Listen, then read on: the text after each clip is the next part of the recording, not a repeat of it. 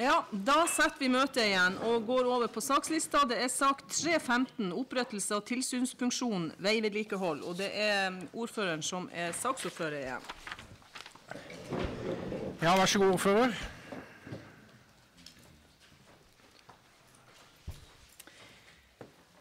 Ja, I forrige sak så var det jo sagt at det var eh, innlevert anbud fra tre tilbydere, inkludert kommunen sjøl. I kontraktsperioden så skal kommunen utføre tilsyn med tilbyd, tilbyderes leveranse av vei. I kontraktsperioden så må det tas høyde for kostnader til kommunens tilsyn med tilbydere som tildeles kontrakter. Tilsyn skal påse at tilbyder leverer avtalt tjeneste i henhold til standard som beskrevet i drifts- og vedlikeholdsstandard. I sakspapirene er det opplista eh, punkter fra 1 til 22. Disse arbeidsoppgavene er beregna til 1,5 årsverk. Ved dagens bemanning på ni mann så er to årsverk tilknyttet vei, og 0,46 årsverk er tilknyttet administrasjon og ledelse. Etter gjennomføring av tilbudsforespørsel vil da 2,46 årsverk være fratatt arbeidsoppgaver innenfor vei. En konsekvens av dette vil være at vaktordninga som har vært delt mellom vei, vann og avløp, så her må de innenfor lovlige rammer minst være fire mann eh, i vaktordninga. Derfor må eventuelt reduksjon av bemanning foregå i etterkant at det overføres kompetanse til gjenværende personell, spesielt innenfor vann og avløp. Det må også avsettes personell til å føre tilsyn med tjenester som leveres til vei. Andre kommuner som har satt bort sitt veivedlikehold, har også en sånn tilsynsmyndighet. For å ivareta dette er det beregna et behov for 1,5 årsverk, totalt 604 500. Tilsynspersonell trenger tilsynsbil, friksjonsmåler, vernebekledning, kontor, datautstyr, strøm, forsikring osv. Dette er beregna til 150 000, og årlige driftskostnader anslått til 90 000. I budsjettet for 2015 så er det ikke tatt høyde for disse kostnadene. Det må derfor tilleggsbevilges for 2015 613 000. Dette er jo kostnader da fra mai til desember på åtte måneder. Denne saka var jo òg oppe nå i formannskapet. Der var ikke noe innstilling med det at uh, konkurransen skulle trekkes. Uh, så vi har den innstillinga som ligger, som er da administrasjonens innstilling. Tilsynsfunksjonen på vei opprettes, og funksjonen får i oppgave å føre tilsyn med drift og vedlikehold som gjennomføres på kommunens veinett i henhold til inngått kontrakt. Det tilleggsbevilges kroner 613 000 til driftsbudsjettet for 2015. Kostnad belastes disposisjonsfond. Takk. Da har jeg Bjørn Hegstad, vær så god. Representerer partiet Venstre. Det er et spørsmål ordfører, til, til behandling av saka. Det er mulig at det er noe som går meg litt hus forbi, men, men, men vi, den, denne saka ble utsatt. Det har med, med, kommune, med formannskapet skal ikke vi gjøre innstilling til denne saka, Det er noe som går meg hus forbi? Ja, Den saka den falt jo i formannskapet med det at uh, ja. det skulle tilbake igjen til kommunen. Og det var bare Hvis kommunen hadde vunnet anbudet i den forrige saka, så måtte det opprettes en tilsynsmyndighet. Derfor så hadde vi jo ikke den oppe nå i formannskapet. Så det, vi har bare en innstilling som er da administrasjonens innstilling. Ja, ja, da spør jeg videre i henhold til, til lovverket. Er ikke, er ikke formannskapet som skal fremme innstilling til, til, til kommunestyret? Jo. Eller hvordan er det? Bare, jo, det er det. Men saka ligger på kommunestyret sitt bord, og nå har vi jo sagt at det, eh, at det er tatt en konkurranseutsetting, så da må vi jo se på det her med tilsynsmyndighet eh, også.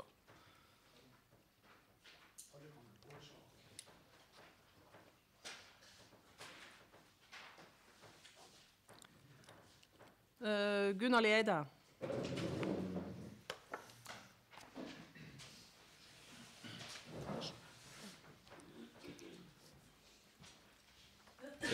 Ordfører kommunestyret.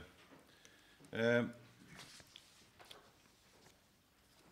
følgende av det forrige vedtaket er jo, det er jo en del følger av det. Og da eh, tenker jeg at det kan være lurt nå at vi gjennomgår eh, tilsyn og alt dette, at vi gir eh, rådmann og, og Enhet utvikling litt tid til oss å se nærmere på dette her.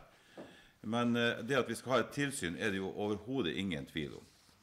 Eh, derfor så eh, fremmer vi i posisjonen følgende forslag nå, og med da i baktankene at administrasjonen kommer tilbake til kommunestyret med, med en del av følgene av, eh, av dette her. Eh, På sak 9.12, opprettelse av tilsynsfunksjon veivedlikehold.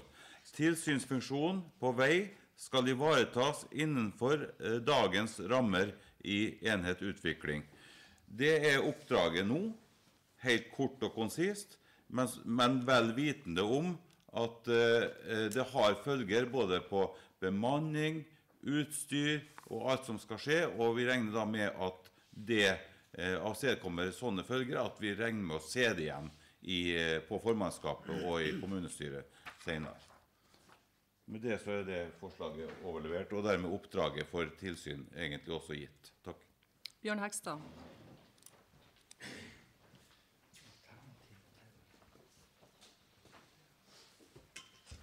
Ja, ordfører, jeg har, jeg har jo lytta og hørt hva som er sagt når det gjelder dette forslaget, men for meg virker det sli, såpass omfattende det som er, er bringa på banen i forhold til det tidligere, at jeg ber om at denne saka utsettes, og at den utredes på en, på en eh, forsvarlig måte. Takk. Gunnar Jeg Eide. har, jeg har da Du har Fremma sak om utsettelsesforslag. Er det til utsettelsesforslaget, Gunnar? Er dette utsettelsesforslaget, Sankt Ja. Bjørn? Ja, vær så god, Gunnar Leide. Ja, ordfører, og denne gangen husker jeg hva jeg skal si, tror jeg. Nei, det er jo akkurat det, det, er jo det jeg sier, det du sa nå, at det er en del ting som må eh, jobbes med. Men oppdraget må vi gi allikevel. Vi vet at det skal være et tilsyn. Vi gir oppdraget, men vel vitende om at de kommer tilbake til kommunestyret med detaljene. Det er riktig. Er det noen andre som har noe til utsettelsesforslaget? Er det noen som trenger noen gruppemøter?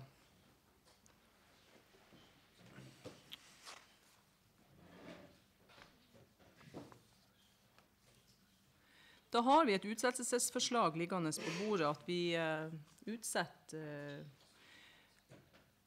Er det utsatt da til neste kommunestyremøte? Er det det Bjørn Hekstad mener? Det jeg ønsker, det er å få en ordentlig saksutredning på saka, for det- da får, at man får behandle det både i grupper og i, og i, og i partisammenheng. Før vi fremmer. Ja. Frode Staurseth. Ja, ordfører, eh, det er til utsettelse. Det er jo sånn at Denne saken jo, har jo vært sendt ut i henhold til lovlige frister. Den var oppe på formannskapsmøtet her i forrige uke. eh, Og så har den vært utsatt til formannskapsmøtet i dag. Så den har vært behandla i to formannskap. Det er ingen nye opplysninger i denne saken, sånn som jeg kan se, utover at vi nå faktisk har vedtatt at vi skal privatisere brøytedriften. Saken om tilsyn er jo ikke endra siden den ble sendt ut til partigruppene og til formannskapet for eh, 14 dager siden. Sånn at den må da ha vært grundig behandla i partigruppene når man var såpass skråsikre som man var i sin sak i formannskapet sist gang. Så Derfor ser ikke jeg at det skal være noen grunn til å utsette den saken. For det vi skal gjøre i dag, er rett og slett å konfirmere om vi skal ha et tilsyn eller ikke. Så er spørsmålet som vi da foreslår, hva slags omfang dette tilsynet skal ha. Så vil det jo være sånn at Når vi da fatter prinsippvedtak om at det skal være en form for tilsyn, men det skal være innenfor dagens rammer, så vil jo det få noen konsekvenser. Og Det er jo det vi inviterer administrasjonen til å komme tilbake til. Det er altså de konsekvensene som får av mannskapsmessig art, av maskinellmessig art og andre forhold. Det er det vi skal diskutere seinere. Men i dag skal vi få på plass prinsippet om at vi faktisk skal ha et tilsyn på, på, det, på det vedlikeholdet vi har vedtatt. Takk. Da har du fått en replikk fra Kurt Olsen.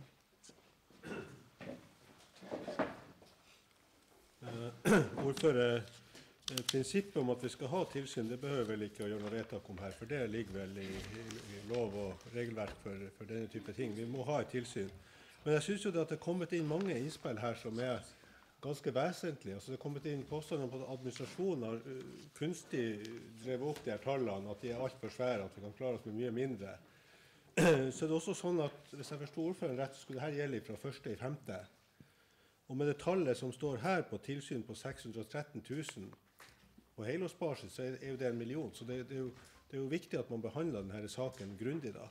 Men uansett så vil jeg i hvert fall be om at den blir behandla i formannskapet før den blir kjørt til kommunestyret, da, hvis vi skal behandle den her i dag. Sånn at formannskapet får jobba litt med den før den kommer i kommunestyret, og får laga en innstilling. Takk. Eh, Jeg foreslår at vi tar et gruppemøte. fem minutter. Hold det for alle. Ja. Da er møtet heva. Fem minutter.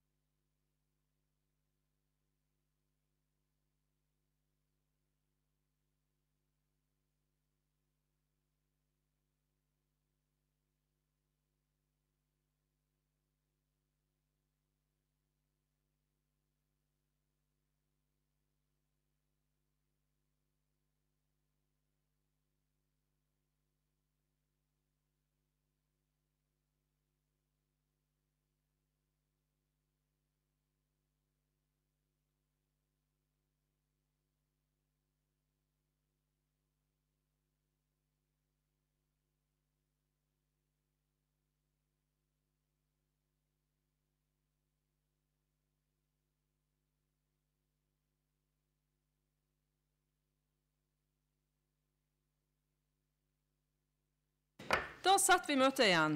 Da har vi et utsettelsesforslag på bordet. Og er det noen som ønsker ordet i saka? Gunnar Eide. Ja.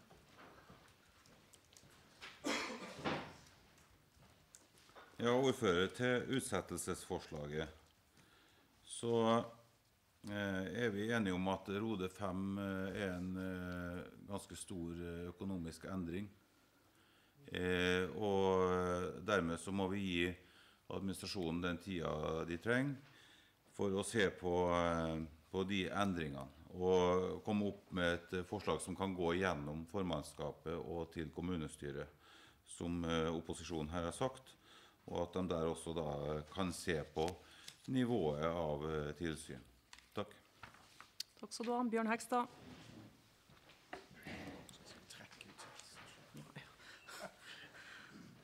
Overfor kommunestyret, Det er jo akkurat disse tingene som, som jeg tenker på, at vi får den behandlinga på det som Gunnar Lie er i. Det har med, med Rode, det har også med denne bemanninga som det har vært snakka om, hvordan, hvordan man forholder seg til det videre. Så jeg synes den er grei. Dagfinn Olsen.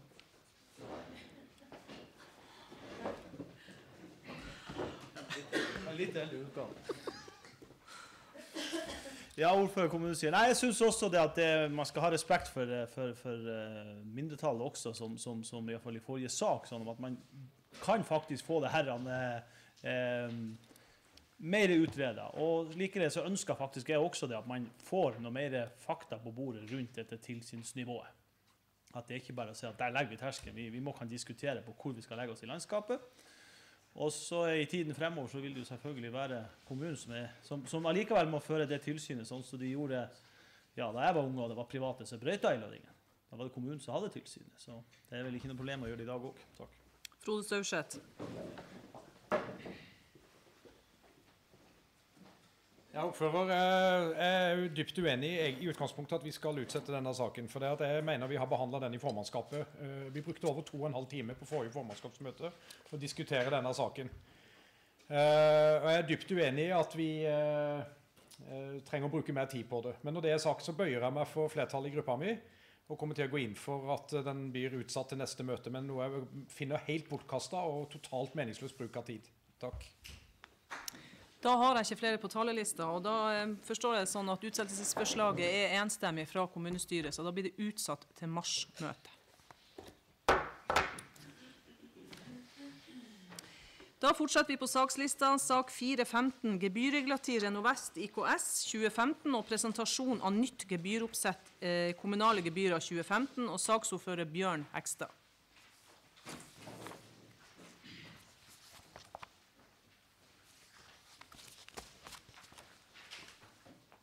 Ja, ordfører kommunestyret. Det er gebyrregulativ for Renovest IKS 2015 og presentasjon av nytt gebyroppsett, kommunale gebyr. Kommunestyret vedtok jo satsene for gebyrene i budsjettmøtet i desember. Det viste seg i ettertid at det har oppstått en del feil og mangler som nå er retta opp. Eh, og så er det gjort to endringer i gebyret for, eh, som tilhører avdeling samfunn, der eh, makssatsene er gitt i lovverket. Det er ikke ment at disse gebyrene skal behandles på nytt, foruten de nye satsene som går på husholdningsavfall og slam. og så er knyttet opp om denne vest. Når det gjelder de øvrige gebyrene, så går jeg, jeg går ikke inn på disse tallene. De, eh, de ligger der, og det, man, eh, det kan man kikke på sjøl. Så legges det nå frem samla gebyrregulativ, hvor også Renovest IKS-gebyrene er i et samla dokument.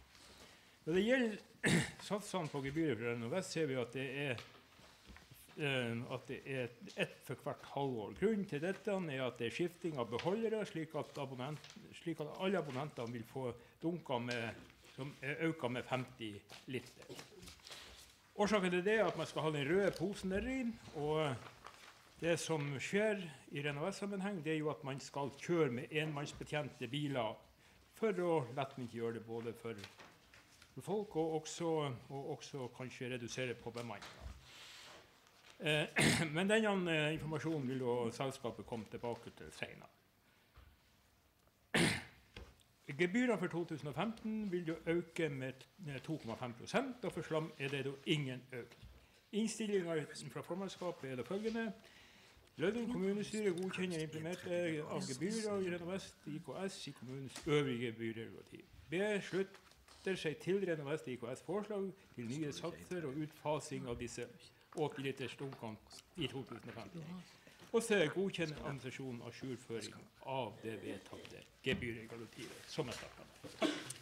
Takk skal du ha. Frode Staurseth.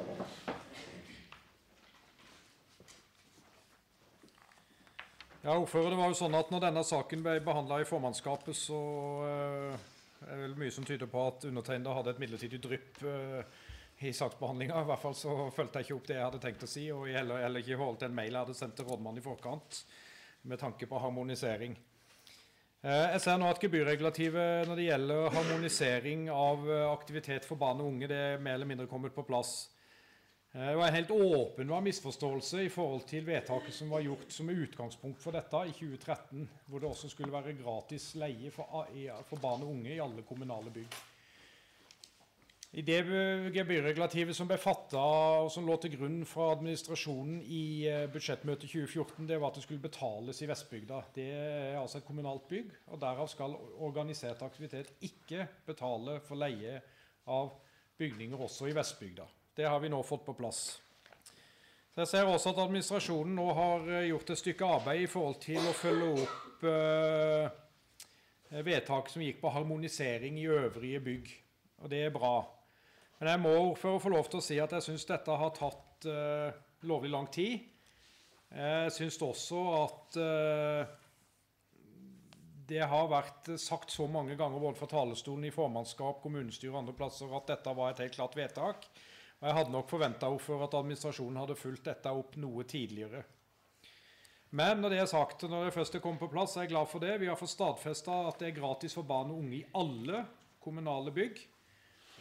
Så lenge det dreier seg om eh, aktivitet, organisert aktivitet for barn og unge under 18 år. Og Vi har også fått gjort et løft i forhold til å redusere priser for annen organisert aktivitet. Det er jeg glad for. Eh, Det som gjenstår da, så vidt jeg kan se, det jo, er jo da de der eh, lokalene som måtte være under barneskolen. Jeg ber jo da administrasjonen å ta det også med seg. Der er noen lokaliteter under barneskolen som leies ut bl.a. til sykkelklubb, Røde Kors, musikkforening og andre. Det må også inn i dette gebyrregulativet, sånn at vi får alle lokaliteter som brukes med i regulativet. Men vi er langt på vei, og vi er nærmer oss nå en eh, 95 løsning. Så da er det litt igjen, så er vi der. Jeg kommer ikke til å stemme imot dette nå, men jeg ber administrasjonen ta med seg det siste jeg har sagt også, som en revidering av gebyrregulativet på det som faktisk mangler. Så bare siste avslutningsvis vil jeg henspeile på det vedtak som ble gjort i 2013, da, som var gjeldende og danna grunnlag for vedtaket i 2014. Det er altså at all innkreving av, eh, av leie i de kommunale byggene skal legges til enhet utvikling. Sånn at vi får et enhetlig innkrevingssystem, og at vi får en lik praktisering av hvordan dette skal gjøres. Det betyr altså at skolene ikke nå lenger skal drive denne form for innkreving og utleie sjøl, men det skal skje via enhet utvikling, jf. vedtaket som ble fatta i budsjettmøtet 2013. Takk. Takk skal du ha. Kurt Olsen.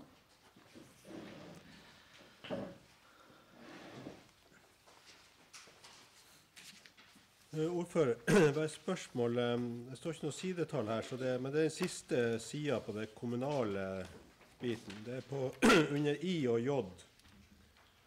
Eh, Så står det på Vestbygd skole og idrettshall. Så står det noen priser. Det står bl.a. møterom, gammel sats 100, ny sats 102. Og så står det bibliotek, skråstrek, klasserom, kroner 50, ny sats kroner 51. Og så står det på under J Eh, øvrige leiepriser. Leie klasserom. Så står det 150 på gammel, 115 på gammel sats og så 200 på ny sats. Og Da ser det ut for meg sånn at det, det er ikke harmonisering mellom leie av klasserom altså fordi at De andre skolene ligger jo under klasserom, leie klasserom på J, mens Vestbygd skole står med et eget, og der står det bibliotek, klasserom 50 og 51. Mens det på tettsted da blir 115, så øker til 200. Jeg vet ikke om jeg tenkt feil, eller om det er, om det er rett tenkt, men det ser for meg ut som at her er det noe, noe som er veldig forskjellig, i hvert fall. Ja. Ja, takk. Nei, og det kan vi vel håper jeg, se på, at, at det her kan være noe. Men jeg oppfordrer bare administrasjonen til å endre det her eh, når, når, jeg, når vi har gått gjennom og sett på det her, at, at det blir endra. Sånn at vi bare vedtar det nå, men at det kommer en endring. Det må ses på. Det kan være noen summer her som er feil. Da har ikke jeg noen flere på talerlista. Er det noen som ønsker å stemme imot innstillinga? Det er det ikke. Da er den enstemmig. Da er det sak 5.15, valg av representant i oppnevnings oppnevningsutvalget for konfliktrådet i Midtre Hålogaland. Og Der sa formannskapet at vi kunne ta denne saka fra dirigentbordet. Så innstillinga er som representant til oppnevningsutvalget for konfliktrådet i Midtre Hålogaland velges Eli Fossem fra Lødingen. Er det andre forslag? Noen som ønsker å stemme imot? Det er det ikke. Den er enstemmig. Ja, det har vi gjort. Hun heter ikke Fossen, hun heter Fosse. Sak 6.15, arbeidet med tryggere Vesterålen, risiko og beredskap, risikoaksept, og saksordfører Frode Staurseth.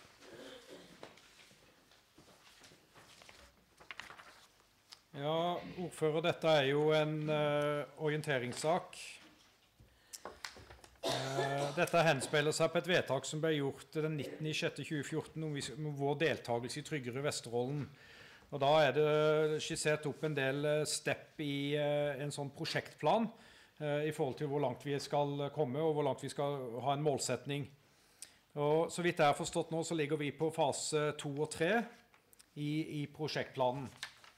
Det vi inviteres til i dag, da, det er å, å godkjenne de eh, lokale tilpasningene i henhold til konsesjonsklassifisering for overordna risikoanalyse. Jeg refererer ikke de fem punktene som står, det kan dere lese sjøl. og forslag til utvalget godkjennes. Styringsgruppa for Lødingen arbeid i prosjekt Trygge Vesterålen får mandat til å justere rådmannens foreslåtte kategoriinndeling og supplere med hendelser dersom styringsgruppen ser for behov for dette i prosessen. Takk. Skal du ha. Noen som ønsker ordet i saka? Noen som ønsker å stemme imot? Det er det ikke. Den er enstemmig. Sak 7.15. Kommuneplanstrategi i Lødingen kommune. Status og fremdrift 31.12.2014. Saksordfører Kurt Olsen. Eh, ordfører, eh, denne saken kunne vel kanskje egentlig administrasjonen like gjerne ha lagt fram, for det skulle jo være en orientering fra administrasjonen. Så, men jeg går ut fra at administrasjonen kan svare på eventuelle spørsmål etterpå hvis det skulle være noen oppfølginger. Bakgrunnen for saken er jo at eh, kommunestyret i desembermøtet ba om status for kommunale planer i forhold til den overordna planstrategien som vi har vedtatt. og Det ble vedtatt 19.09.2013. Jeg skal ikke gå gjennom det vedtaket, for dere kan jo lese sjøl. Det står jo i, i saksdokumentene. Men et par av hovedpunktene der kan jeg ta. Det ene var jo det at kommuneplanens arealdel skulle ferdigstilles til kartlegging innen utgangen av 2015. Og det andre som er viktig, også en del av kommuneplanen, det er jo samfunnsdelen som skulle ha oppstart i 2014. Og så var det andre planer, næringsplaner og eh, ja, den risiko- og sårbarhetsanalysen har vi vært innom. Boligsosial han handlingsplan, plan for folkehelse og fysisk aktivitet. Kommunedelplan for trafikksikkerhet, helse- og sosialplan. Uh, ja, jeg tror ikke jeg nevner flere enn de, men altså alle de kommunale planene mer eller mindre som, som det ble vedtatt av en, eh, en planstrategi for. da. Men så skjedde det noe i kommunestyret eh, fra 30.10.2014. Og jeg leste det som sto i saksutredninga i forhold til den saken, for det er veldig viktig i forhold til hvorfor man er der man er i dag.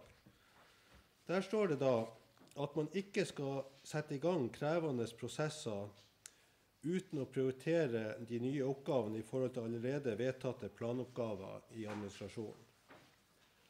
Og Rådmannen foreslår derfor at arbeidet med kommuneplanens samfunnsdel nedprioriteres, og at arbeidet med kommunesamarbeidet går inn som en oppgave i stedet. Det vil sette noe større krav til kommuneplanens arealdel. Den må da inneha en større datagrunnlag for samfunnsutvikling enn det som ellers ville vært utarbeidet i arealplanen. Altså man prioriterer. Um, akkurat det som står her, det sto bare i saken, og det var ikke gjennom, eh, gjengitt i selve vedtaket som kommunen, kommunestyret gjorde da. Men det var en eh, forutsetning for de vedtakene som ble fatta når man skulle gå inn i det her eh, utredningsarbeidet i forhold til kommunesammenslåing i retning Sør-Troms og Harstad. Nå skal jeg bare referere kort i planene som er nevnt her, om hvor de står henne nå. Eh, Kommuneplanens arealdel den pågår da, er under arbeid. Eh, Det ble også orientert om denne statusen da like før jul i, i fjor. Eh, Kommuneplanens samfunnsdel, det arbeidet er blitt stoppa opp. Eh, Helse- og sosialplan, den eh, pågår. Kommunedelplanens trafikksikkerhetsplan, den er ikke starta. Plan for folkehelse og fysisk aktivitet, den er ferdig vedtatt. Bolig- Boligsosial handlingsplan, den pågår. Og eh, risiko og sårbarhet beredskap, den pågår også, som vi har hørt litt om nå. Strategisk næringsplan, eh, den står ikke nå, det står bare at det er en ny situasjon der pga. kommunestyresak 6814. Jeg husker ikke helt hva det betyr. men det betyr at Det var står- den som du leste det i står i beredskap, han Ja. er stilt i, i bero foreløpig. Ja. Så det er de hovedplanene. Så går det ut fra det at det er anledning til å spørre. Ja, jeg leser ikke innstillinga. Nei da, den er grei. Det er at uh, vi tar det til, til orientering, det som står her. Er det noen som ønsker ordet i saka? Atle Andersen. Ja, ordfører. Da vi tok opp det her på budsjettmøtet og la fram det verbalforslaget om å få en status, så var det jo fordi at vi kanskje opplevde at det var en del man var en del etterskudd med diverse planer. Vi har jo f.eks. det som går på den trafikksikkerhetsplanen, som er eh, en sak som kommunestyret har gitt tilslutning til tidligere, og som er et fundament for i det hele tatt å få, kunne få midler til å gjøre noe med trafikksikkerheten i Lødingen tettsted. Vi har sett liksom i avisen i, eh, ja, gjennom hele fjoråret, så det drøsses ut midler fra fylket til trafikksikkerhetssak her og der. Til utbedring og gang- og sykkelstier osv. Ingenting til Lødingen.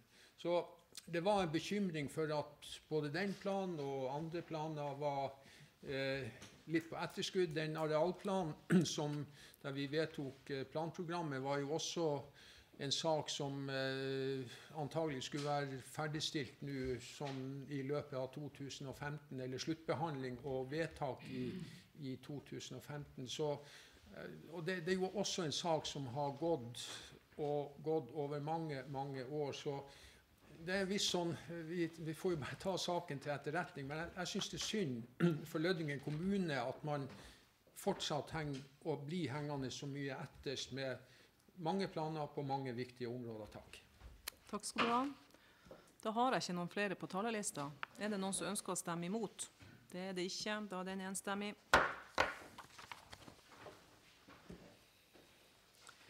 Sak 8 er vi ferdig med. Da er det sak 9.15. Fritak fra styreverv i KF Eiendom suppleringsvalg. Og det er ordføreren som er saks... Nei. Valg har vi lov til å ha i kommunestyret.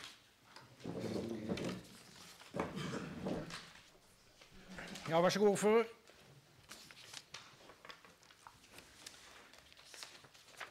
Det ligger nå to søknader om fritak eh, fra to valgte medlemmer fra KF Eiendom. Begge søker fritak, og de har oppgitt manglende tillit til styreleder som begrunnelse. I kommunelovens paragraf 66 nummer 2 så står det at et styremedlem det har rett til å tre tilbake før valgperioden er over, når det er særlige forhold som tilsier det her. Det skal foreligge en saklig begrunnelse hvorfor vedkommende trekker seg, og en begrunnelse kan være at samarbeidsklimaet i styret ikke fungerer sånn som vedkommende ønsker, eller at andre styremedlemmer er uenig i vedkommendes tanker om selskapets videre utvikling, eller hva som er det beste for selskapet fremover. Sånn at de her to styremedlemmene har full rett til å få fritak.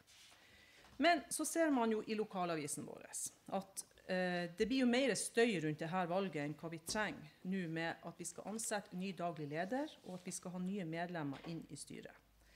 Det er valgnemnda som kommer med sine forslag. Og i valgnemnda der sitter både opposisjon og posisjon med sine medlemmer. At det kun er én vare som er kommet opp på fast plass, det var for at den andre varaen ikke vil ha en fast plass. Han er også spurt av valgnemnda.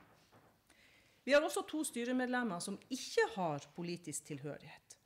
Og de her er to, pluss de andre valgene som man skal gjøre til et styre, det er fordi at man mener at de her vil gjøre en god jobb i et bestemt styre som man velger dem inn til, og ikke fordi at man er Høyre-, Venstre- eller Arbeiderpartimedlem. Og så håper jeg det at styreleder, styret og den nye daglige lederen nå kan få lov til å begynne sin jobb. Kommunestyret tar til etterretning at både Kurt Olsen og Jørn Bjarne Johansen har bedt om fritak. Og Valgkomiteen har kommet med disse forslagene. Ole Rikard Sande velges inn som fast medlem for Jørn Bjarne Johansen. Odd Myrlund velges som fast medlem for Kurt Olsen. Og som varamedlem etter Odd Myrlund velges Anne Grete Johansen. Og sånn at alle får med seg hvordan et nytt styre da eventuelt vil se ut, med og uten partitilknytning, så betyr det at Einar Erntzen, Frp, er leder. Anie Skjerven, Frp, er vara. Trine Christensen, uten noe partitilknytning, og Monica Kvæl Kvalø, Høyre, er vara. Odd Myrlund, uten partitilknytning, med vara Anne Grete Johansen, Høyre. Toril Svendsen, Venstre. Bett Jensen, Venstre, er vara. Ole Rikard Sande, Høyre, med Geir Ellingsen, Arbeiderpartiet, som vara. Takk. Takk skal du ha. Er det noen som vil ha ordet til saken? Atle Andersen, Arbeiderpartiet.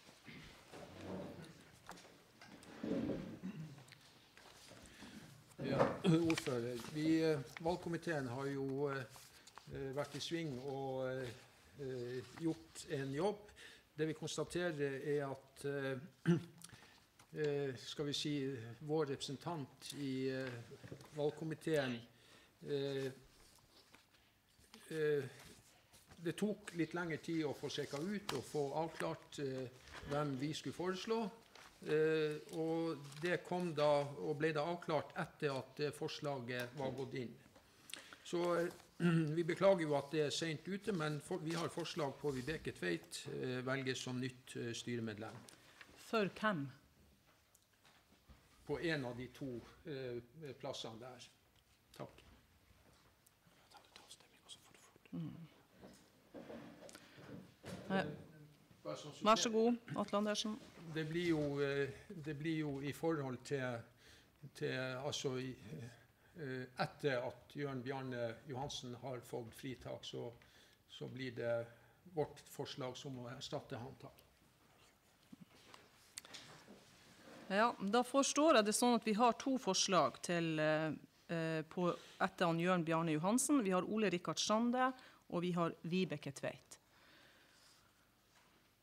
Eh, jeg har forstått det sånn at det ikke er noen andre um, forslag eh, med Odd Myrlund for Kurt Olsen. Der er det ikke kommet noen andre forslag, og det er ikke noen andre forslag på uh, varamedlem etter han Odd Myrlund. Så det er da to forslag da etter Jørn Bjarne Johansen. Det er Vibeke Tveit, og det er Ole Rikard Sande. Så vi får sett de to opp mot hverandre da.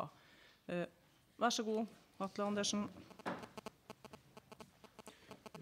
Ordfører, det er vel sånn at valg til utvalg og nevnde enten er forhåndstalls- eller avtalevalg. Takk. Ja, og så lenge vi har en valgkomité, så er det jo avtalevalg. Så hvis det skal være forholdstallsvalg, så må vi jo Da må vi få en, eh, en beskjed om det at det skal være. Da er det noen som må foreslå at det skal være et forholdstallsvalg. Og da må saka sendes tilbake igjen. Da må partiene komme med liste på hvem de skal stille med.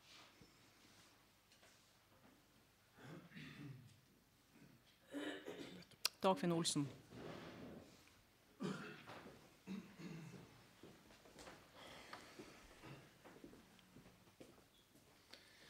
Ja, eh, ordfører kommunestyret. Da eh, dette styret ble nedsatt i sin tid, så var det altså gjort med et avtalevalg. Og eh, man har hatt en valgkomité i sving. De har kommet opp med to navn. Eh, I mitt hode så er det slik at det er det som gjelder. Det å komme nå med et benkeforslag, da strider mot alt det vi holder på med. Det burde man ha kommet i valgkomiteen. Så i mitt hode så er det sånn at vi kan faktisk gå til avstemning på dette, for det er altså avklart tidligere at et avtalevalg og valgkomiteen skulle finne frem til det. Det har valgkomiteen gjort. Arbeiderpartiet har ikke benytta seg av den muligheten. Vi går til valg. Var det en replikk på det? Da var det en replikk fra Atle Andersen og han Kurt, Olsen. Atle var før det. Jeg stussa litt på ordfører, stusset litt på det som Dagfinn Olsen sier. Sist vi hadde valg til styret i KF eh, Havn, så kom det jo opp en forslag. Ja da. Og det kan komme opp benkeforslag, men de må settes opp mot hverandre da. Da er det fremdeles avtalevalg. Eh, Det var en replikk fra Kurt Olsen òg. Nei, bare en par ting. Eh, Det ene er at eh, det er jo kommunestyret som skal velge uansett. Og hvis det oppstår en uenighet i forhold til en avtale, så er avtalen borte. sånn store, store bilder. jeg har lyst til å si at jeg eh, sitter jo nesten overalt, for jeg sitter jo også i valgnemnda. Så jeg må bare si at jeg har gått inn for den innstillinga som ligger her, for det er de forslagene og navnene jeg har fått meg presentert som var aktuelle. Det var ikke noen andre navn å velge mellom. Og jeg har sagt at jeg syns det er greit med de som kommer inn her. Nå vet jeg per i dag at det er andre forslag også, og da vil jeg også føler jeg at jeg har frihet til å vurdere de, men de var som sagt ikke inne i bildet tidligere. Og så har jeg lyst til å si at vi ved konstitueringa etter, det, altså etter valget av det her kommunestyret her, så var det også valgnemnda laga ei hel liste med masse navn som skulle utredes. Og Frp var notorisk å fjerne de som var foreslått fra SV og andre for at de skulle ha inn sine egne folk. Så at her må man holde tunga litt rett i munnen og la de samme reglene gjelde på alle plasser. Takk. Replikk på replikken. det. Gunnar Lie Eide. Jeg skal ta det.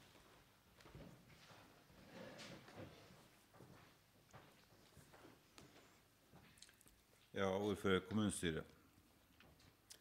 Det er tydelig at eh, her legges vekt på at dette styret eh, skal få en trang fødsel. Eh, jeg, ble nesten sjokkert når man presterer å komme med dette nå. Eh, jeg må si at jeg har vi, vi, Fra Lødingen Høyre så har vi lagt vekt på å plukke ut uh, uh, folk som er veldig kompetente, og jeg er veldig fornøyd med det valgnemnda har gjort, og de som står der. Og i respekt for dem så har jeg lyst til å velge de. Eh, denne måten å, å, å drive på når man har hatt eh, all verdens tid på å ta kontakt med de som skal lage dette forslaget, det, det har jeg liten sansen for. Så nå må vi komme til skudd her. For det er et veldig viktig arbeid som skal gjøres her. Vi, vi kan ikke drive på på dette viset. Nå må vi bie oss litt, og så må vi gjøre jobben vår her. Takk. Frode Støvseth. Var det en replikk? Vær så god. Kurt Olsen. Ordfører, jeg må bare si at jeg er jo enig med Gunnar Lie Eide i det at det er uheldig at det skjer på den måten her. Men det er jo kun Arbeiderpartiet som kan forklare at det kommer så sent. Jeg regner med de har en forklaring på det. Men jeg syns jo også det at det, det har vært en stor fordel om de navnene som var aktuelle, hadde kommet inn til valgnemnda, sånn at vi kunne tatt en avgjørelse på det. Frode, Frode Staurseth. Ja, det, det er jo sånn at eh, Kommuneloven med kommentarer advarer jo mot at sånne råd og utvalg settes sammen eh, med bruk av eh, forhåndsdagsvalg. Man, nettopp med tanke på det at, det at det kan fort bli oppfatta ute blant folk om at det er politikken som er det viktigste, og ikke oppgavene man skal gjøre.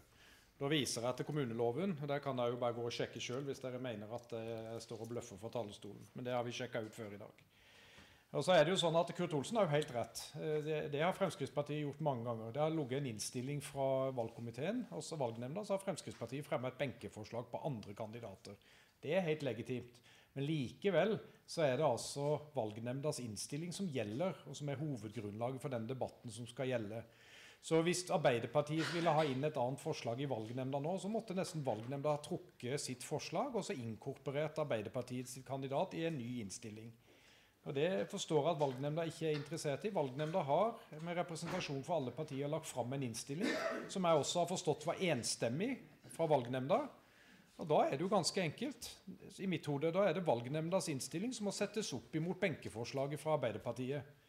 eh, Som igjen konstaterer kommer med forslag i tolvte time. Men, men så enkelt kan det bli da i avstemning, og så får vi denne saken ut av verden. Så vi får komme i gang og gjøre den viktige jobben som det styret faktisk skal gjøre.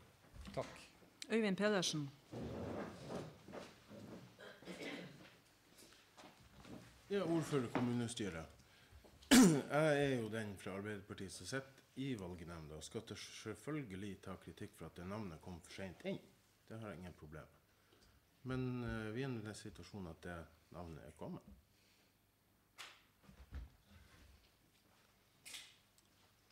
Da har jeg ikke noe flere på talerlista, men jeg foreslår at vi må sette opp de to navnene da, opp mot hverandre. Sånn at vi får med det forslaget som er kommet da på Vibeke Tveit.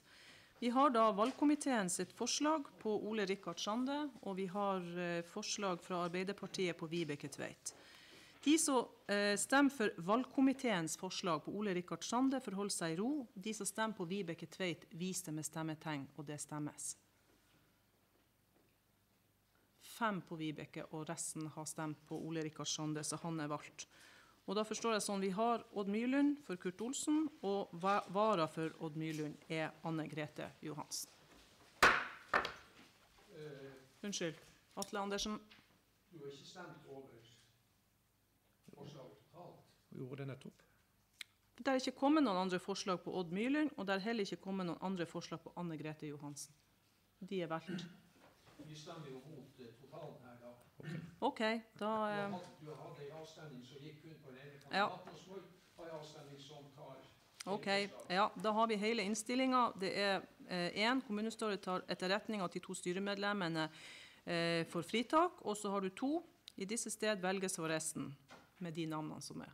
Så da får vi ta den opp til votering. De som stemmer for den innstillinga som ligger, de forholder seg i ro. Og de som stemmer imot, viser med stemmetegn, og det stemmes. Da er det fire mot. Innstillinga er enstemmig. Eh, enstemmig. enstemmig. Mot fire stemmer. Mot fire stemmer.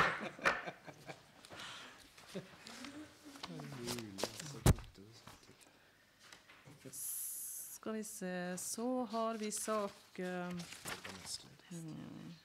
1015 Lødingen Eiendom KF valg av nestleder, og jeg tar den her fra dirigentbordet.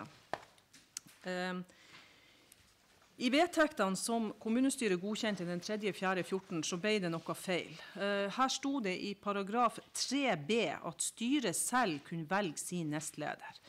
Eh, I et kommunalt foretak så, er det, så er det velger styret av kommunestyret, og denne myndigheten den kan ikke delegeres. Det samme gjelder for valg av leder og nestleder til styret.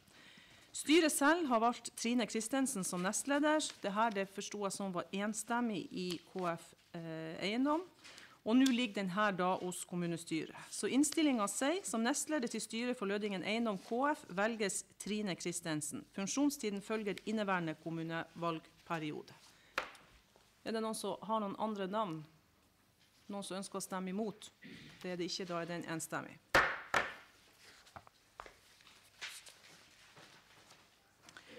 Sak 1015, tittelendring for enhetsledere. Fra enhetsleder til kommunalsjef for de tre store enhetene helse, omsorg, oppvekst og utvikling. Og saksordfører Bjørn Hekstad.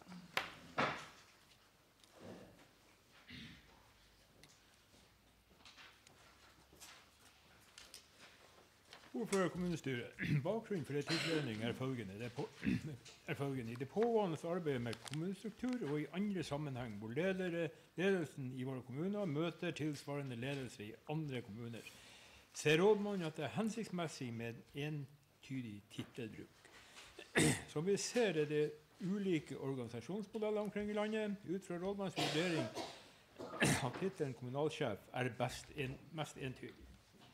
Det vises til Sortlands kommunes eh, organisering i saka. Det ligger vel som et kart på, på som et kart i saksframlegget. Når det gjelder tituleringen, er det ikke noe Uh, og si for, har det ikke noe å si i forhold til lønn, så innstillingen fra formannskapet er følgende. Lønn kommunestyre godkjenner endringer i betegnelsen av kommunens enhetsleder fra enhetsleder helse og omsorg, eh, enhetsleder utvikling og oppvekstleder til kommunalsjef for de respektive enheter. Takk skal du ha. Einar Erntzen.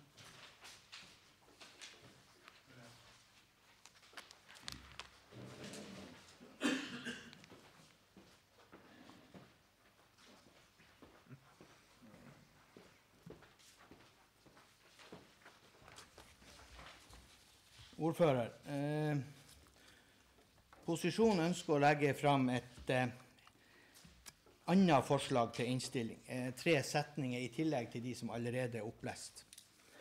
Og jeg leser hele forslaget.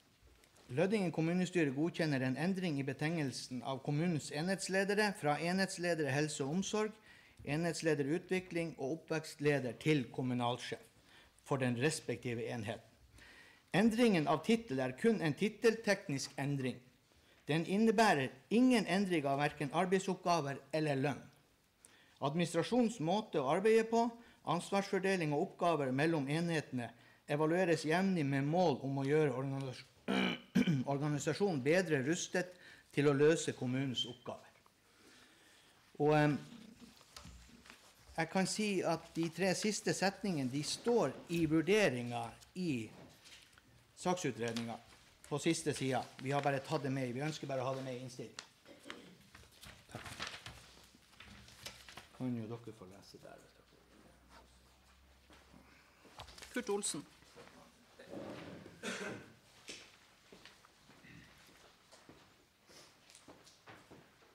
Eh, Ordfører, jeg hadde egentlig ikke tenkt å si noe. nå. Jeg, jeg lurer litt på hvorfor det her var nødvendig å bruke tid og krefter på det her akkurat nå. Vi er inne i kommunestrukturprosjekter og snart skal bort, så jeg reagerte på det. Det som kanskje Ja, så ble jeg litt forbanna òg. Jeg fremma det forslaget som jeg sitter med i hodet, og som jeg nevnte i formannskapet.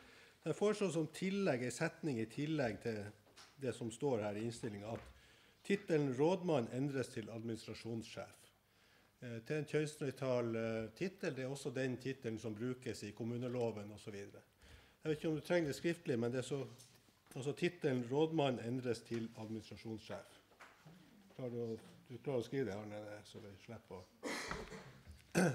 Det syns jeg jo er greiere, for at, eh, det må jo være fælt for en kvinne å hete rådmann. Frode Staurseth. Ja, ordfører, eh, det, det er jo sånn at, eh, og Da refererer jeg til det ve- utsettelsesvedtaket vi gjorde tidligere i dag om at dette har ikke vært grundig behandla i formannskapet.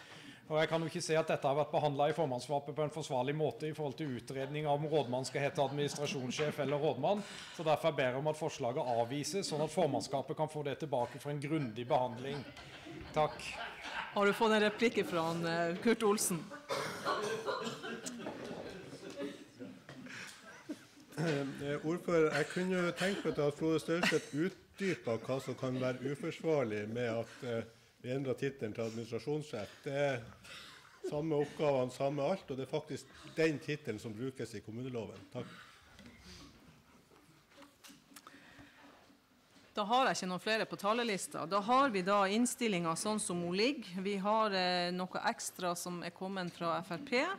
Og så har vi Høyre. Ja, unnskyld. Og så har vi da et uh, tillegg fra han uh, Kurt Olsen fra SV. Vi får ta det som én og to og tre. Den innstillinga som ligger der, at det blir endra, er det noen som ønsker å stemme imot den? Den er enstemmig. Så har vi forslaget fra Høyre og Frp at det en, eh, at det som står i Jeg hadde ikke akkurat den, eh, den presiseringa, bare at den, den, den står i innstillinga også. Er det noen som ønsker å stemme imot den? Det er det ikke, da er den og enstemmig. Og så er det det tillegget da på tre at uh, tittel rådmann endres til administrasjonssjef. Så de som eh, stemmer for det, forholder seg i ro, og de som stemmer imot, viser det med stemmetegn, og det stemmes. Fire imot, så da er den òg med. Da er du plutselig blitt administrasjonssjef. Fagforeninga! Hvor er? Det, må, det, skal, det går ikke an. Det skal drøftes. Ja, det går ikke an. Vi har ikke, vi har ikke Vent, til dagsorden. ja. Eh, Til, til dagsorden. Ja. Det, det er sånn, ordfører, at dette er jo en drøftingssak. Ja. Vi kan jo ikke sitte i kommunestyret og vedta dette uten at det både er hørt og drøfta blant de til- tillitsvalgte og fagforeningene til rådmannen. Så det er jo helt åpenbart at det er jo klare brudd på spillereglene i arbeidslivet. Så at denne saken må jo avvises. Og det var jo, man kan jo flire av det jeg sa i stad, og jeg flirte av det sjøl, men det er jo poenget her, den er jo ikke utreda. Så det skal drøftes, og du av alle, Kurt, burde vite bedre i forhold til det med tillitsvalgte organisasjoner. Takk. Kurt Olsen.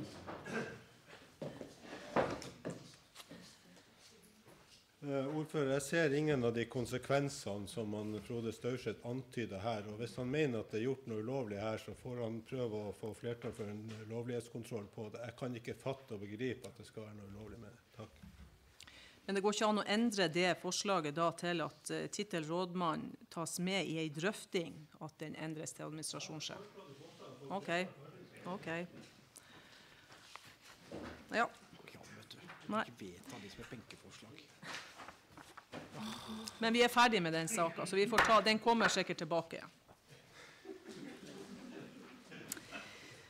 Da er det sak eh, 1215. Det er sak fra kontrollutvalget for eh, forvaltningsrevisjonsrapporten. Der skulle vi egentlig hatt ei dame som heter Åse Skavdal, som skulle ha kommet og presentert rapporten. Det er vel hun som egentlig da har laga denne rapporten. Hun eh, sitter værfast, eller i hvert fall så var det litt for stygt vær til at hun ville komme.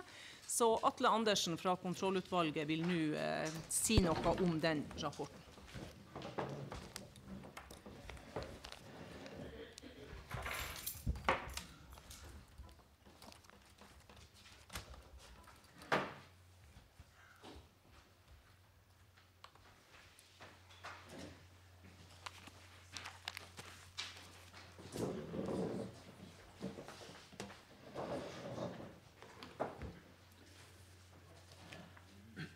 Ja, ordfører. Da skal alle ha fått tilsendt eh, selve rapporten.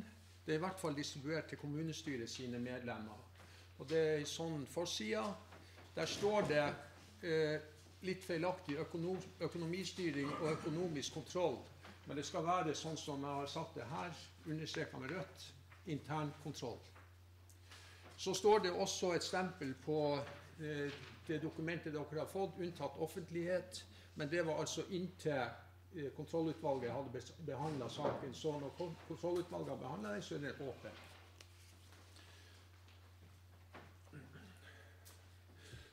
Så, eh, bare for å ha sagt to ord om bakgrunnen, så er jo eh, det med å drive forvaltningsrevisjon er jo forankra i kommuneloven.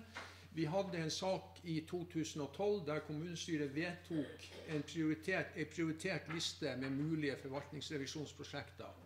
Hvor det med økonomistyring og økonomisk internkontroll var prioritet nummer én. Og Det er altså den rapporten som vi nå har fått tilgjengelig, og som kommunestyret skal behandle og, og si noe om. Så har jeg også med det punkt nummer to. Det var flere punkter, men det er bare for å orientere om at vi nå er i gang med neste forvaltningsrevisjon, som er, vil, for, eh, vil handle om forebyggende arbeid, saksbehandling og internkontroll i barnevernstjenesten. Etter initiativ fra oss, kontrollutvalget i Lødingen, så blir det en felles eh, forvaltningsrevisjon mellom oss og Sortland. Så det, det prosjektet er eh, starta opp, og revisjonen er begynt å se på det. Eh, oppstartmøtet for det her, det, det var jo litt frem og tilbake. Som dere sikkert husker, så vedtok kommunestyret at vi ikke skulle kjøre forvaltningsrevisjon i 2012 pga. Av den økonomiske situasjonen. Så var det litt eh, eh, i 2013 med å få økonomien på plass i forhold til, eh, til eh, Komrev Nord. Men eh, prosjektet her starta opp i fjor vår. Eh, rapporten var klar til i november. Prosedyren er da at den først går til høring hos rådmann før behandlinga i kontrollutvalget. Den høringa eh, kom. Eh, så ble det behandla i kontrollutvalget den 18.12. Og kontrollutvalget sitt vedtak hadde vært på en ny høring hos rådmann. Eh, så nå er alt klappet og klart.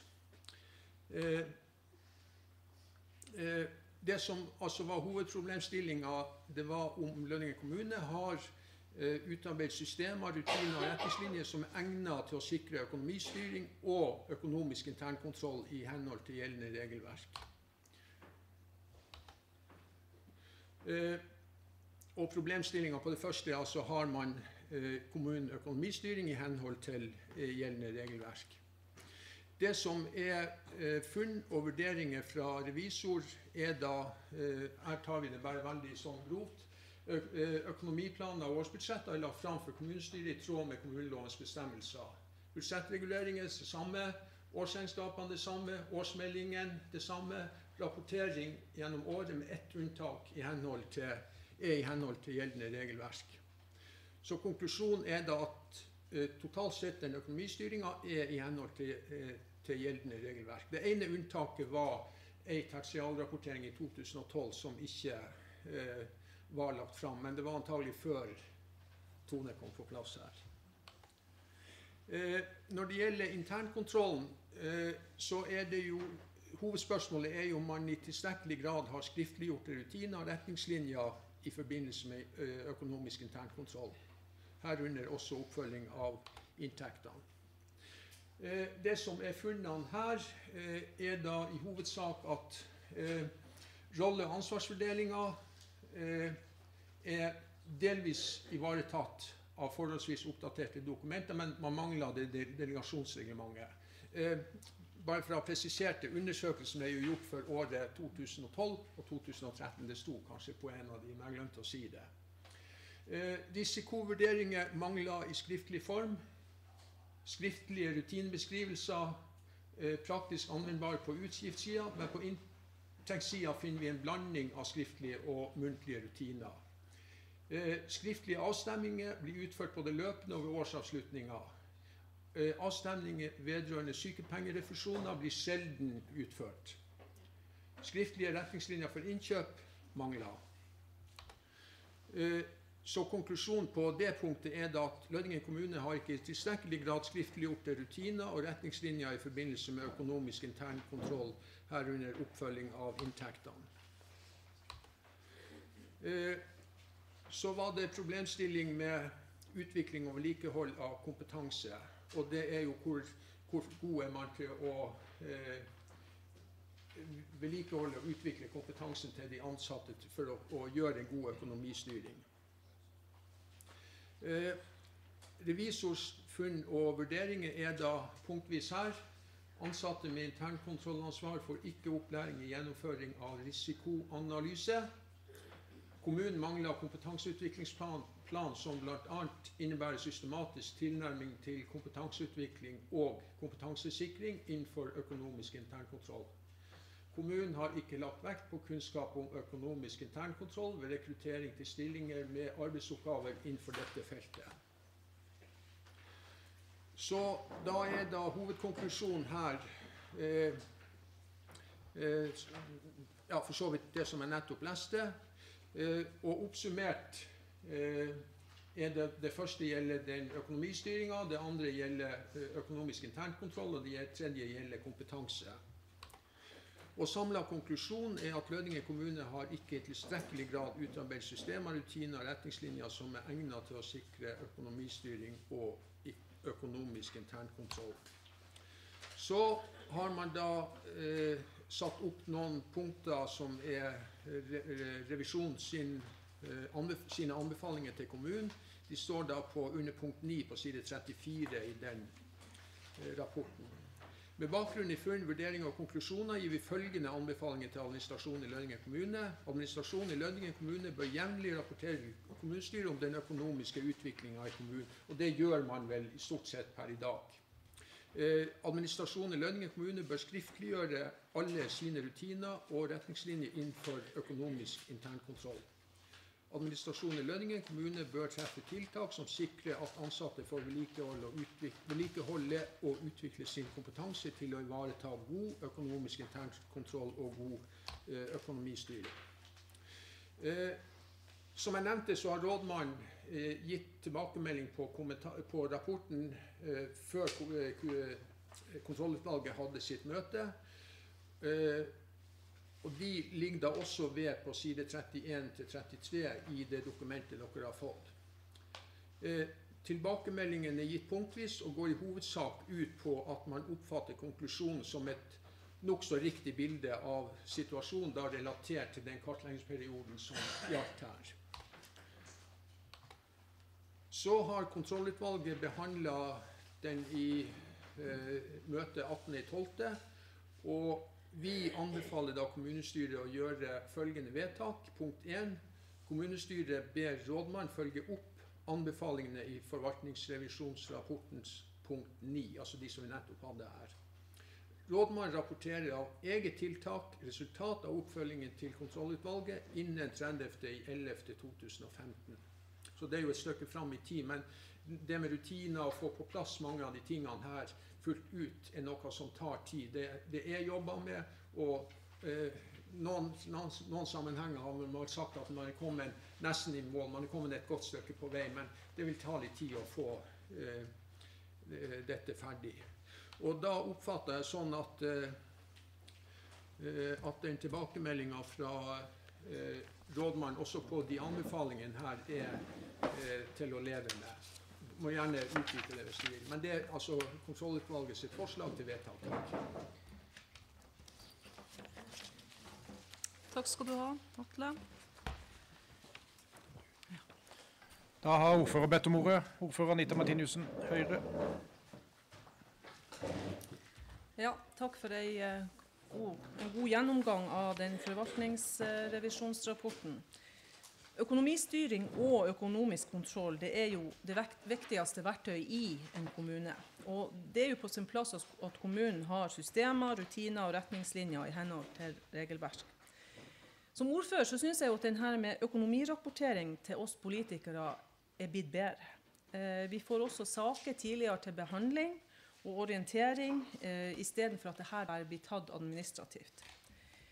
Det er veldig viktig at vi som politikere får uh, jevnlige økonomirapporteringer, sånn at vi kan følge med hva det som skjer i kommunen, og hva som skjer ute i enheter. Og Forvaltningsrevisjonsrapporten sier jo også at de ansatte må få bedre uh, opplæring i økonomistyring. Rådmannen sier at det der er et nytt økonomireglement under arbeid, og at det her nesten er ferdig, og at det her vil politikerne få til eh, behandling på vårparten. Så det er jo bra at administrasjonen tar tak i de her problemstillingene som revisjonen har kommet med. Når det gjelder innstillinga, så er det greit med nummer én og to. Eh, Men jeg mener som politiker så er dette en så viktig jobb at jeg har veldig lyst til å påføre et nytt punkt tre. Og det er det at formannskapet holdes orientert. Det betyr jo at vi som politikere kan få en orientering i saka etter hvert så det skjer noe, og at vi kan få, før at vi da får det her økonomireglementet eh, som egen sak. Så jeg håper det at kommunestyret kan være med på at formannskapet kan holdes orientert, sånn at vi politikere òg eh, kan se hva som skjer. Takk skal du ha. Er det noen som vil ha ordet til saken? Det er det ikke. Da går vi til eh, votering. Er det noen som har noe imot det at vi påfører punkt tre? Nei. Da, eh, da er det enstemmig. Og er det noen som vil eh, stemme imot den innstillinga som ligger nå? Det er det ikke, så den er enstemmig.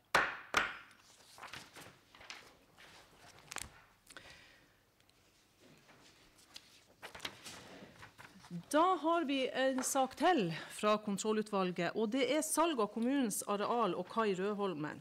Og eh, jeg har bedt Atle Andersen å si litt om den saka. Vær så god, Atle.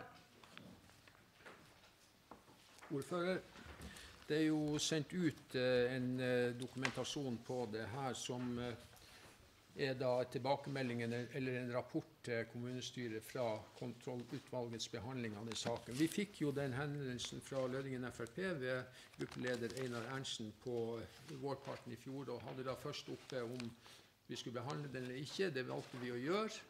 Så har det da vært eh, to-tre runder med innhenting av informasjon og innhenting av alle saksdokumenter i saken. Eh, ordføreren har eh, vært inne, Hun deltar jo på, eh, og kan delta på alle møtene i kontrollutvalget, men vært inne og redegjort for sin håndtering av saken, og også supplert med diverse informasjon, sånn at vi har fått all informasjon på plass. Det som vi behandla da, sluttbehandlinga på møtet den 18.12., eh, endte da opp med følgende vedtak. Kontrollutvalget finner ikke at utvalget oppnevnt av kommunestyret ved vedtak av 7.5.2013 med fullmakt til å forhandle avtale og gjennomføre salg av gårdsnummer 28, bruksnummer 36 i Lønninger kommune, har handlet ut over sin fullmakt i henhold til kommunestyrets vedtak ved å gi prisavslag på 1 638 000, eh, 638 000 ja. Og punkt to, utskrift av møteprotokollen og saksframlegget til kontrollutvalget oversendes til kommunestyret som kontrollutvalgets rapportering til kommunestyret. Det står ikke oppført som sak, men det er ei muntlig rapportering som, eh, som eh, vi gir her. Eh, de punktene som eh, særlig har vært eh, eh, gjenstand for vurdering, er jo for det første det her med hvordan man skulle forstå eh, takstene og det, de punktet om fradrag for den skaden som var gjort. Eh, det har eh, eh, K-sekretariatet, når de har gått gjennom og studert og analysert de eh, takstene, så er det ganske tydelig at det var forutsatt å skulle skje på den måten. Så er det de eh, par punkter som har vært eh, særlig vurdert. Det ene er jo at man lot eh, kjøper foreta utbedring av den skaden som egentlig kommunen skulle ha gjort for si regning. Og eh, man valgte å gjøre det på den måten fordi at en vanlig kunngjøring av et så stort oppdrag i Doffin ville ha tatt eh, uforholdsmessig lang tid. Man sto i fare for at man ikke skulle ha fått utført en reparasjon før vinteren kom. Så var, den er akseptert, eh, også ut fra det forhold at man hadde søkt om skjønnsmidler for å få eh, erstatta den. Det har man i ettertid fått. Eh, det andre punktet som også var eh, litt inne, det var jo det her med at man gjorde, et fradrag for eh, et tidligere salg som ikke viste seg å være oppgjort da det her. Så det var, medførte, også til, medførte også at salgssummen ble justert ned. Men konklusjonen er at saken er behandla på en, en ryddig eh, måte, og ordføreren har gitt redegjørelser for kommunestyret om underveis og holdt kommunestyret orientert om, eh, om eh, prosessen og de tingene, forskjellige tingene som skjedde før man gikk til det skritt å avtale, å, å signere avtaledokumentet. Så summa summarum, det har vært en, en ryddig prosess eh, fra kommunens side, fra ordførerens side og fra det eh, utvalget som var nedsatt. Takk. Takk skal du ha, Atle. Er det noen som ønsker ordet i saka? Det er det ikke. Da tar vi den til eh, orientering. Da har vi først den uttalelsen angående ambulanseberedskap. Den har hun sendt ut til kommunestyret sine representanter. Jeg har ikke fått noen tilbakemelding at det er noen som ikke vil støtte den her. Eh, Rådmannen hadde jo eh, noe i, i jultida om det her, og jeg syns at vi kan støtte opp om det her med eh, ambulanseberedskapen. Så da sender vi den til styret i UNN, sånn som den ligger her. Ja, det ligger mange der. Vi har den. Så har vi en, en, eh, høring, E10 Hålogalandsveien. Vi snakka jo litt i eh, formannskapet om hvordan vi skulle gjøre det her eh, med ei høring. Og eh, det var foreslått det at, eh, at eh, næringsforum og ordfører kunne prøve også, eller Atle Andersen i Næringsforum, får jeg si. For eh, Viggo Martinussen som fungerer, det var ikke, det var ikke helt heldig at ordfører og, og fungerende leder setter seg ned og skrev en høringsuttalelse. Så det er Atle Andersen og ordfører som har prøvd å skrive noe. Den ligger på bordet til dere. Så kom eh, Dagfinn Olsen i, tidlig i eh, morges med eh, litt ekstra I natt, ja. Litt, med litt ekstra ting som han eh, har lyst til å ha med. Eh, jeg har den liggende her, der er det prøvd å skrive inn litt, så hvis det er noen som vil se på den. Men jeg foreslår det at Atle Andersen, ordfører, og Dagfinn, hvis vi kan eh, se litt grann på den uttalelsen, i stedet for at hele kommunestyret skal sitte og, og håper si hva og hvordan, hvordan vi skal gjøre det, så eh, foreslår jeg det. Hvis det er greit for Dagfinn Olsen og Atle Andersen, så ser vi litt mer på den høringsuttalelsen. Har du bedt om ordet? Ja, vær så god, Dagfinn Olsen.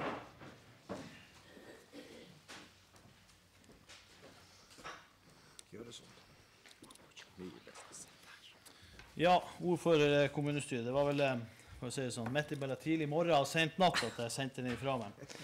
Uh, nei, det, så det er utgangspunktet for, for det som jeg har skrevet inn i, i denne uttalelsen. Det er det at det har skjedd mye etter at uh, de forskjellige organene har behandla den KVU-en.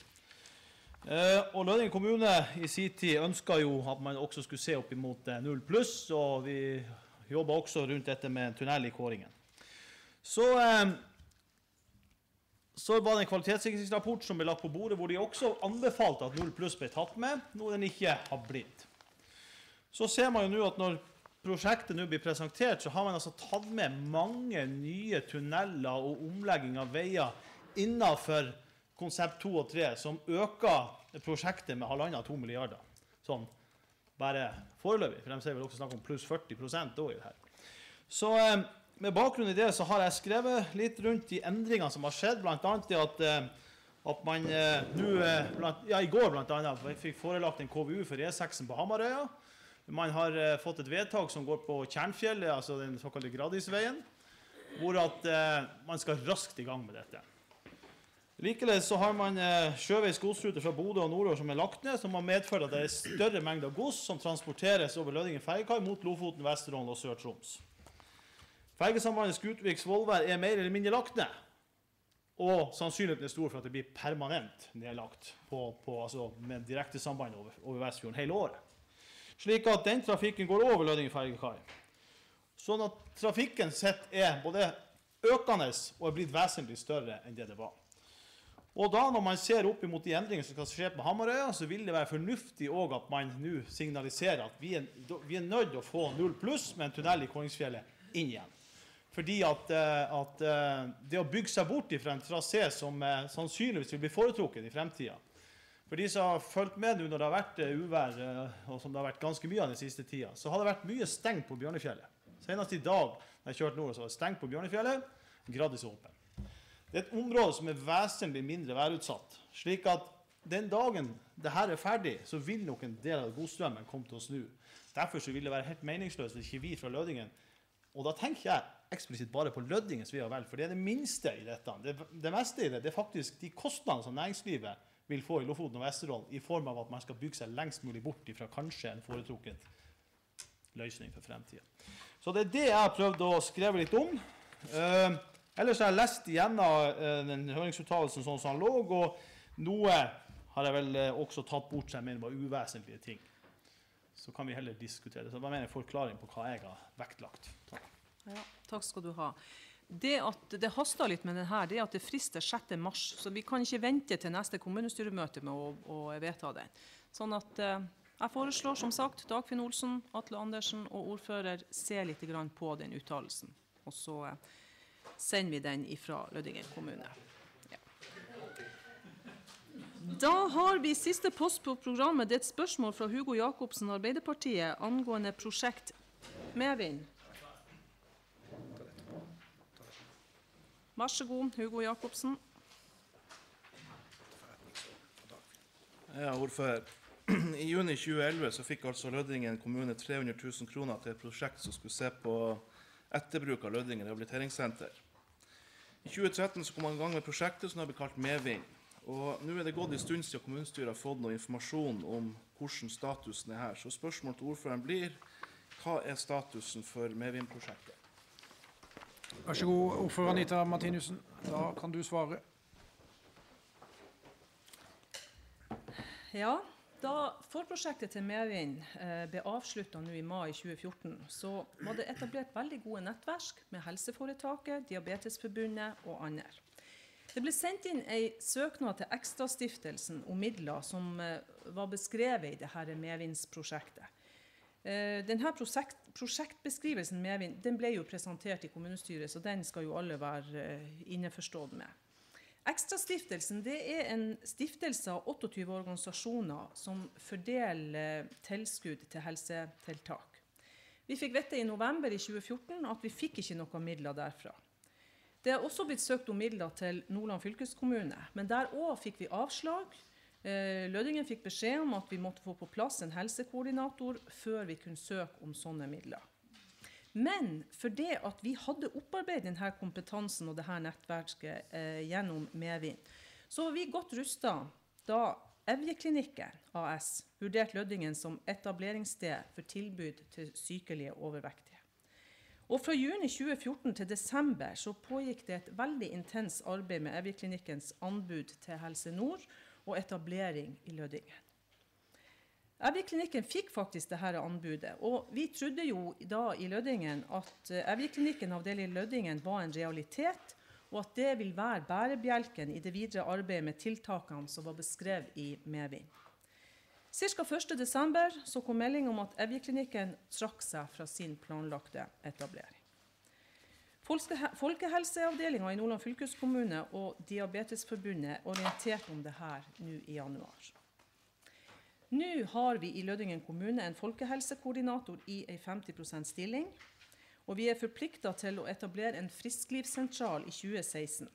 Frisklivssentralen er nedfelt som en nøkkel i medvindsprosjektet. Det er ikke avsatt noe øremerka midler eh, og ressurser i administrasjonen nå til å ta tak i alle de her gode tiltakene som står nedfelt i medvindsarbeidet. Men vi skal være overvåken og se muligheter for næringsutvikling innen helse. Og noe som også de her nye reglene for tilskudd fra Næringsfondet eh, legger opp til. Takk. Takk skal du ha. Hugo Jacobsen, er det greit? Fornøyd med svaret? Okay. Flott, takk. Ja, da har vi tatt alt som står på programmet.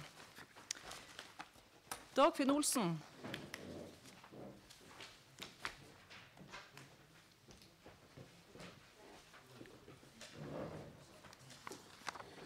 Ja, ordfører kommunestyret. Med bakgrunn i eh, det vedtaket som ble gjort i stad angående forandre tittelen fra rådmann til administrasjonssjef, så legger da undertegnede på vegne av eh, fire til frem et, et, et, eh, krav om lovlighetskontroll. Og så refererer jeg det ikke fra talerstolen.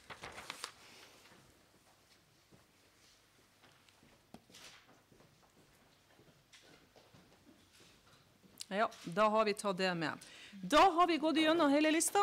Takk for et godt møte alle i kommunestyret. Da hever vi møtet. Vel hjem.